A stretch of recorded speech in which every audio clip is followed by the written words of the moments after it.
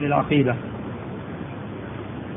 هذا أيضا بيان في رسالة التوسل أنواع وأحكامه.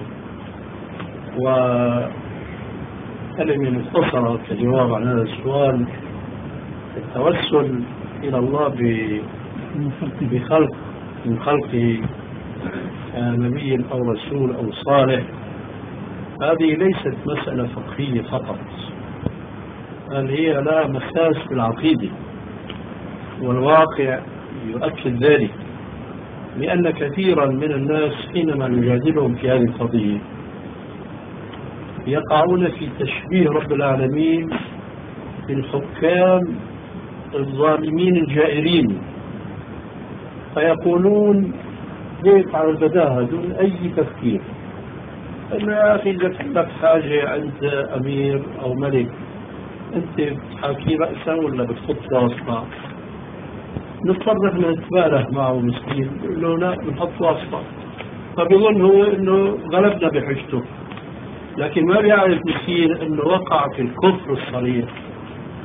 وهذا ما نبينه له بعد ذلك صراعا نقول له يا أخي إذا كان عندك أمير بتكلمه بدون واسطة مثل عمر الخطاب وأمير بدك واسطة أو أكثر من واسطة ايما خير؟ يرجع ما بيفيق لحاله بيقول لا اللي ما بده واسطة هو خير من اللي بده واسطة. طيب تعرف انت شو مساوي؟ لم ترضى أن تشبه ربك بالملوك العادلين ولو أنك فعلت ذلك لكفرت.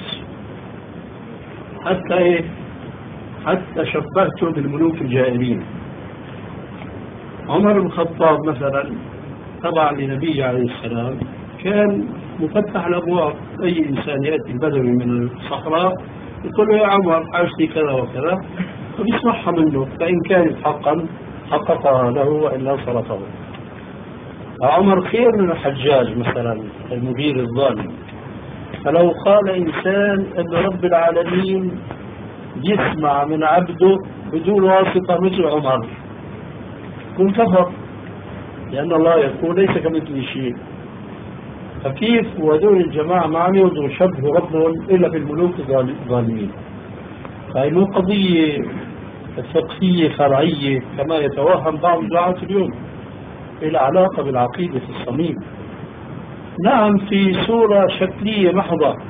ممكن أن تكون المسألة كما نقل عن ذلك الكاتب. مثل الشوكاني مثلا. الإمام الشوكاني من كبار أئمة السنة الذين أصلهم من الزيدية. لكنه اهتدى بالسنة وخرج عن التمذهب بمذهب الزيدية. هذا الرجل مع فضله بقي عنده رواسب من مذهب القديم فيما يبدو والله أعلم منها أنه يذهب إلى جواز التوسل بالأولياء والصالحين. لكن لا يلاحظ في ذلك ما سبق إشارة إليه آنفا مما عليه جماهير الناس اليوم إلا جاء الحديث في ذلك ويعني بذلك حديث الأعمى. فهمه فهما خطأ وهذا حكم شرعي فنحن نتعبد الله به. هذا العالم لمثله ممكن أن يقال أن توسله من باب الخلاف الفروع. فالخطر سهل. أما جماهير المسلمين اليوم ليس توسلهم من هذا القبيل أبدا. وشر هذا كما قلنا هناك في رسالة حديثة الذكر والحمد لله رب العالمين.